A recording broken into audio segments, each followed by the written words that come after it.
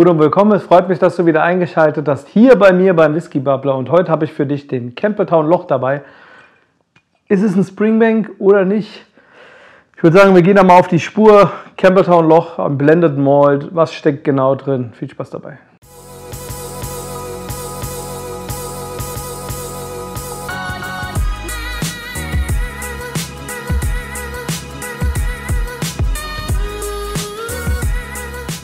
Campbelltown Loch Blended Malt Scotch Whisky. Was steckt da genau drin? So die richtigen Angaben, Transparenz habe ich jetzt gar nicht gefunden. Man sieht natürlich J.R. Mitchells Co. Okay, Mitchells. Mhm. Okay, kommt natürlich aus dem Hause ähm, Springbank. Ja. Steht hier auch drauf, Blended and Bottled at Springbank Distillery, Distillery äh, Campbelltown, Scotland. Die Frage ist Blended Malt. Ja? Also haben wir quasi einen Blend, wo einfach nur Springbank, ähm, Longwow, Hazelburn, Glengeil, also mit Kit Cavan drin ist und Glen Scotia, weil hier drauf steht Blended Scotch Malt Whisky created uh, solely from Campbelltown 5 distinct Single Malts. Ja, das würde das heißen, ich überlege gerade, ob ich irgendjemanden vergesse, was es nicht gibt. Ja, haben sie irgendwie einen Löffel von irgendeinem alten sonst was rein. Vergesse ich gerade irgendwas? Ähm, das ist halt quasi das, was sie machen. Sind das irgendwelche Rezepturen, die sie da anweisen? Auf jeden Fall blended, ähm, wenn, könnte man ja nur sagen, Springbank und äh, Glen Scotia steckt drin. Der Whisky wurde auch an, an vielen Stellen, ja, will ich schon sagen, gehypt oder irgendwie sehr positiv. Wir haben es natürlich mit einem Produkt, was, was leicht äh, Pini ist, zu tun ja, oder so ein bisschen so einen rauchigen, erdigen äh, Charakter hat. Gleichzeitig ist es so, wo wir uns die Frage stellen, ist es denn ein Springbank 10? ist es besser als ein Springbank 10? Zumindest hätte ich gesagt, preislich ist es das gleiche. Na, das stimmt natürlich auch nicht mehr. Das war früher mal. Springbank 10 ist mittlerweile, ihr wisst ja selbst, ja, musste ja irgendwie eine Bank ausrauben, für, um ranzukommen gefühlt, wenn du einen Local Dealer hast, äh, kriegst du nochmal so einen Spaß. Im Netz schwierig, wer einen hat, äh, schön. Und ich habe mir gedacht, das vergleichen wir mal. Natürlich kann man sagen, okay, das kann nicht passen. Die Suppe hier vom Campbelltown Loch ist ja irgendwie viel dunkler. Ja, also wie gesagt, wir haben den Springbank 10, relativ hell. Und dann haben wir hier das Campbelltown Loch. Ähm, gut, jetzt könnte natürlich, uh, so dunkel ist er gar nicht. Ja, ein bisschen ist dann schon was drin.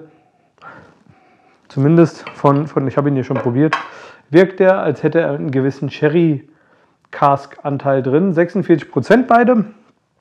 Beide sozusagen hier, ne, gleiche Etikett, gleiche Flaschen.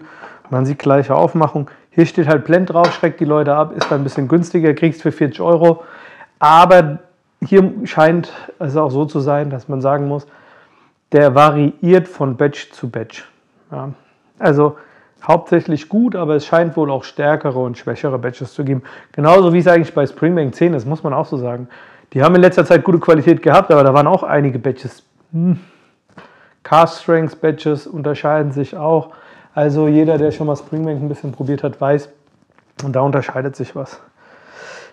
Ich probiere die mal so ein bisschen zu vergleichen von, vom Nosing her. Wie gesagt, ich habe die ja frisch eingeschenkt gerade. Man merkt auf jeden Fall hier schon einen anderen Stil, Campbelltown Loch. Deswegen greife ich gerade so ein bisschen erst nochmal. Ihr müsst euch gedulden zum Springbank 10, weil ich glaube, der Sherry-Anteil ist hier höher, hat ein bisschen mehr Aromen. Die Frage ist, ob der Springbank ein bisschen mehr Rauch hat. Trinken werde ich sie in der anderen Reihenfolge. Du hast natürlich den mineralischen Touch, diesen erdigen Touch, ein bisschen Funk. Eigentlich müsste ich mir noch so einen kleinen Scotia schnappen. Da habe ich nur Festivalabfüllungen, die sind am Port rum und so weiter gerade offen. Klassischen Zehner oder so. Wäre auch, glaube ich, ein spannendes Line-Up. Also man sieht, mit, mit, mit Campbelltown kann man sich auf jeden Fall beschäftigen, kannst ein paar Abfüllungen haulen und du brauchst eigentlich nur den Springbank 10. Vom Campbelltown Loch gibt es auch noch Altersangaben, gibt es ganz viele Verrückte. Man kriegt nicht mehr alle so, diesen kannst du ganz regulär in einem Shop kaufen. Also für jeden, der sagt, ich will Campbelltown probieren, schauen wir mal, ob das eine Alternative ist.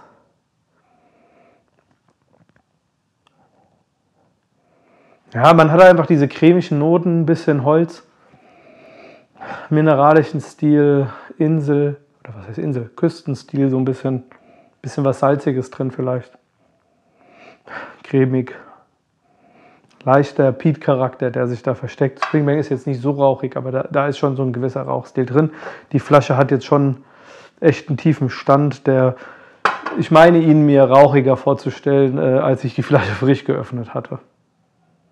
Ja, und hier kommt halt gleich so, so ein bisschen was Traubiges, Sherry-artiges. Nicht so krass wie bei einem Springbank 15, den haben wir jetzt hier nicht im Vergleich. Wäre vielleicht so die Mischung. Ist da was vielleicht drin, so vom Stil oder von ähnlichen Fässern sozusagen. Aber wir haben auch wieder so ein bisschen diesen Funk drin, so einen leichten Rauchstil. Küstenartig, salzig, maritim. Und dazu aber sowas Dunkles mit viel mehr Röstaromen. Ich finde, der Campbelltown Loch hat eine viel kräftigere Nase. Krass ist gerade, wenn ich schwanke vom Campbelltown Loch zurück auf den Springbank, kriege ich irgendwie so einen Zimtcharakter, den ich gerade gar nicht hatte. Der, der eher so dieses noch maritime. Also hier sind einfach auch Früchte drin, eine gewisse Süße. Ich finde aber sagen, der wirkt runder. Der äh, Springbank 10 ist ein bisschen kantiger. Das jetzt ein bisschen rundiger, süffiger. Das, was wir uns von einem Blend auch eigentlich erwarten dass er gefälliger ist, dass er jetzt nicht komplexer oder ausgeprägter, aber runder, lecker, süffig. Von der Nase kann ich es auf jeden Fall bestätigen. Gefällt mir beides gut. Ich mag Springbank 10, der Campbelltown Loch.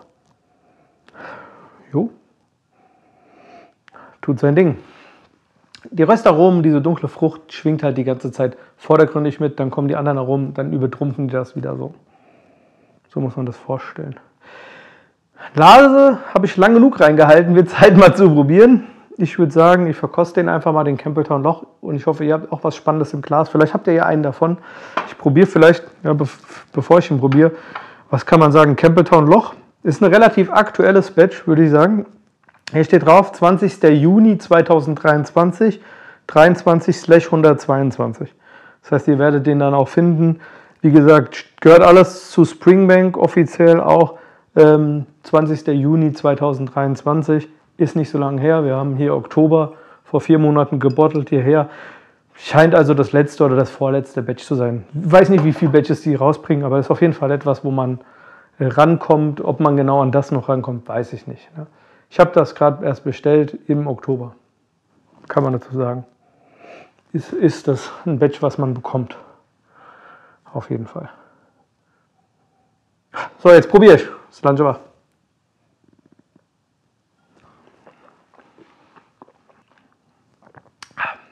Schön. Gefällig, ja, leichter Rauch ist da, gerade im Geschmack. Auf der Zunge merkt man es nochmal deutlicher. 46 Volumenprozent, gut eingebundener Alkohol, Röstarom, Süße, Frucht, Salz. Dann kommt wieder das Holz, zwischendrin immer wieder dieses Rauch, leicht salzige Charakter, diese maritime Note. Schwierig, die blitzt nur so auf, ist eher schneller weg, ist mehr in der Nase. Man kriegt vielleicht noch so eine leichte Würze, aber auch die ist relativ schnell weg. Und dann übernimmt wieder die Frucht, Röstaromen, Schokolade. Sehr, sehr süffig. Soll ich sagen? Ich habe den auch aufgemacht, den Whisky. Ähm, mir ins Glas gelassen, nicht lang gewartet. Klar, äh, einen Tag habe ich gewartet. Die Flaschen lasse ich meistens erstmal stehen, damit die sich von der Temperatur, wenn die jetzt mit der Post kamen wie hier, ähm, dann brauchen die natürlich ein bisschen. Ähm, den habe ich sozusagen als Beifang mal mitgenommen, weil er mich interessiert hat, als ich den Daljun, den wir da hinten sehen, gekauft habe. Und da dachte ich, komm, nimmst du den mal mit. Wollte ich eh mal probieren. Und ähm, nachdem die einen Tag gestanden haben, sozusagen ran, und der war sofort da, wie heute, wie jetzt. Das ist einfach unglaublich. Ja, ich bin gespannt. Ich gehe jetzt mal zum Springbank, weil dieses super kantige oder so hat er nicht. Wirkt schon sehr rund, hat aber einen Cherry-Anteil, den man nicht wegdenken kann. Röstaromen süffig.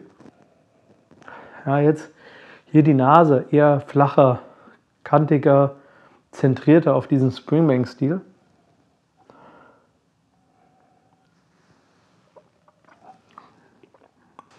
Rauchlevel ist ähnlich. Hier kriegst du das, das Bourbon-Fassartige, das Malzige.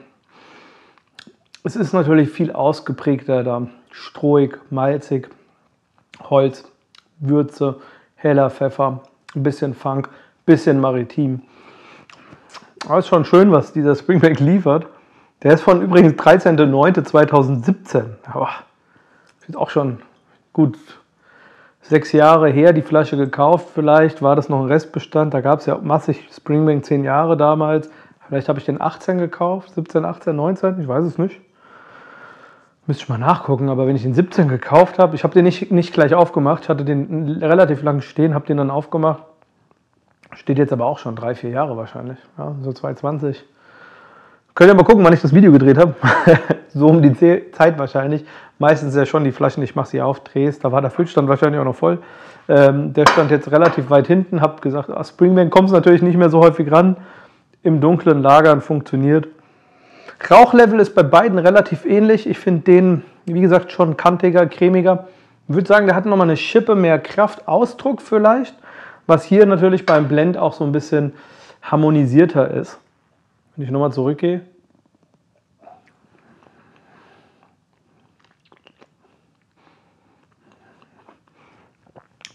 Ja, diese, diese dunklen Anteile, die Sherry-Anteile, die macht es wirklich auch in einem gewissen Bereich, wo man sagt, die Whiskys lassen sich nicht vergleichen, das sind einfach unterschiedliche Produkte, kannst du nicht eins zu eins nehmen. Auf der anderen Seite, der Rauch, du kannst hin und her wechseln, der, der gehört schon dazu. Könnte man einfach sagen, das ist ein, vielleicht ein jüngerer Springbank, was auch immer, ob da wirklich Glen Scotia drin ist, ein Löffel oder so.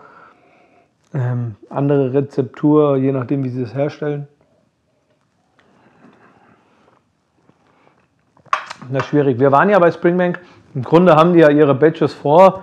Oh, Montag, wir machen ein bisschen Long Row, Peated. Danach äh, nehmen wir Malz ohne Peat. Kann dann der Springbank noch den Rest Rauch irgendwie zum, zum Saubermachen mitnehmen. Und danach hauen wir den Hazelburn rein. Beziehungsweise, ich glaube, irgendwie andersrum ist es. ähm, so, so, gehen sie ihre durch, dann wird gereinigt. Ähm, andersrum macht es wahrscheinlich mehr Sinn, aber immer das gleiche Verfahren, 40 Jahre, die gleiche Rezeptur, das hat sich bewährt, alles gleich. Das Einzige ist die Malzmischung, was anders ist, mal Röstmalz, mal nicht. Und danach ist Fass in das es reinkommt, was auch nochmal unterschiedlich ist. Fermentationszeiten und so weiter überall gleich. Von daher, irgendwas ist in dem Campbelltown Loch drin, wo du sagst, hm, ist es nur das, das Sherry-Süße, Röstaromartige, was, was wirklich sagt, ich bin was anderes? Oder ist da wirklich auch ein gewisser Anteil drin, der dazu führt, dass er doch nicht eins zu eins, also wenn man den Campbelltown Loch kauft, vielleicht gehen wir mal ins Fazit. Wenn ich den kaufe, aber ich muss nochmal süffeln. Einmal muss ich nochmal. Macht auf jeden Fall Spaß. Der Rauch ist auf jeden Fall identisch. Also wir haben, wie gesagt, ein Springbank-Produkt, steht ja auch drauf, Springbank Distillery und, und yada, yada, yada. Was die fünf Anteile sind, weiß ich nicht. Wenn es jemand weiß, schreibt es gerne rein. Vielleicht ist es auch nur Springbank, Glen Geil. Sie mischen alles durch, Familie Mitchers. Ähm, gar kein Glen Scotia drin. Man kriegt auf jeden Fall aus dieser Familie, wenn ich sage, ich will mal einen Campbelltown Whisky probieren, ein gutes Produkt. Schmeckt, ist süffig, ist rund. Gerade hier tolles Batch, würde ich mir sogar nachkaufen. Ähm, ist ja immer die Frage, kauft man sich Whisky nach? Per se muss ich sagen, jo, den kann man sich schon mal irgendwie äh, wegstellen. Gerade wenn man überlegt, wo die Springbank-Preise hingehen. Jetzt nicht als Werterlage verstehen. Wir wollen den Spaß trinken. Und äh, ich habe halt, also 80 Euro oder sowas braucht man dafür nicht bezahlen. Das würde ich auch hierfür nicht bezahlen. 39 Euro war die Flasche damals hier. Aktuell war hier die Flasche 39 Euro. Wie gesagt, das kann auch unter, sich unterscheiden. Das sind Online-Preise, manchmal die dampen. Ähm, ich habe den halt wegen einem unabhängigen Abfüller, den ich wollte, mitgenommen, um den Versand zu sparen, auch so, so muss man ehrlich sein, habe ich auch mal gemacht. Äh, hab gedacht, komm, Campbelltown Loch will ich immer mal probieren, schwanken die Batches. Ist es dann doch enttäuschend, die Leute sagen, musst du mal probieren ist gut? Ja, kann ich mitgehen, gehe ich voll mit. Also hätte ich nicht gedacht, ich habe meine Erwartung war vielleicht auch einfach ein bisschen weniger. Und dann hat er abgeliefert, so in dem Sinne. Ich finde auch den Sherry-Anteil gut. Für jeden, der sagt, oh, ich habe einen Springer in 10 zu Hause, ich möchte was zum Vergleichen. Meiner Meinung nach wenn man jetzt einen Springbank 15 hätte, könnte man schon sagen, ich probiere den, dann den, dann den Springbank 15, hast ein tolles Line-Up. Springbank 15 ist halt auch teurer geworden, ist auch viel intensiver. Kann man dann nicht eins zu eins vergleichen, aber so der Aufbau, der Wechsel ähm, dazwischen würde er auf jeden Fall passen, wenn man sagt, ich möchte die Whiskys mal vergleichen. Mir hat Spaß gemacht, einfach mal hier so äh, Springbank mit reinzuwerfen. zu gucken, ist es eine Alternative? Was sage ich? Jo. Ist natürlich, man muss auf Sherry Whiskys stehen. Wer hier nicht auf Sherry Whiskys steht, der, der braucht damit natürlich nicht äh, herangehen. Es ist auch kein Ersatz, aber es ist, wenn ich noch nie einen Whisky aus Campbelltown probiert habe, eine gute Möglichkeit, in dieses Springbank-Profil reinzukommen mit einer guten Qualität. Ob ich das jetzt unbedingt haben muss, muss ich unbedingt einen Springbank. Wir haben hier ein 40-Euro-Produkt, wo man sagen kann, ich kann damit Spaß haben. Schmeckt gut. Es zeigt mir Stile, die ich sonst nicht bei jeder Brennerei kriege. Also von daher von mir eine klare Empfehlung. Campbelltown Loch.